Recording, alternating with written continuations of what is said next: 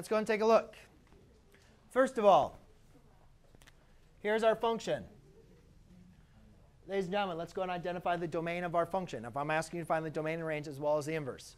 So to find the domain, we can say that the domain of this function, is, am I dividing by any variable or taking the square root of a variable?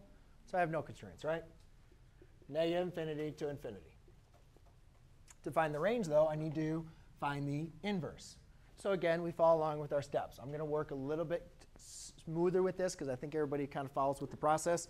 But mostly the mistakes I've seen, though, are all at the same point in time, which I'll tell you when that happens. So first thing we do is replace y with x, or y f of x with y. Swap the x and the y's. And then solve for y.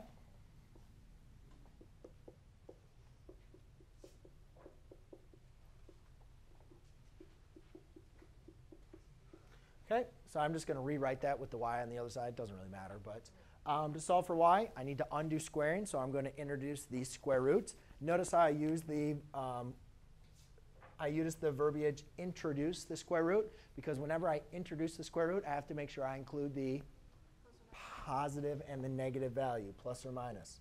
So therefore, I'm actually going to have two values,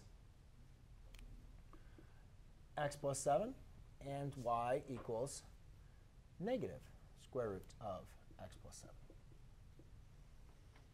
Right? Remember, we introduced this square root.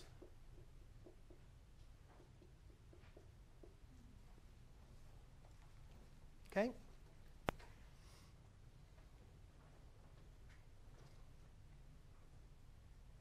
You guys agree with me? Yes? OK. Now, the next step is um, we need to find the domain right? Well, we have a range. Let's make sure our, excuse me, hold on. It's coming? No? Yes, it is. ah, thank you. So let's go ahead and find the domain of these functions. It doesn't really matter which one because remember the domain of a radical function is has to be whatever is inside radical has to be greater than or equal to 0. So for define the domain, I will just say x plus 7 has to be greater than or equal to 0 subtract 7, subtract 7, x has to be greater than or equal to negative 7. Therefore, my domain is all numbers that are equal to 7 or greater. So negative 7 to infinity is my domain.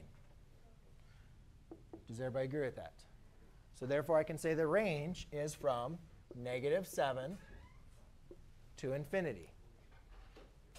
OK? Now,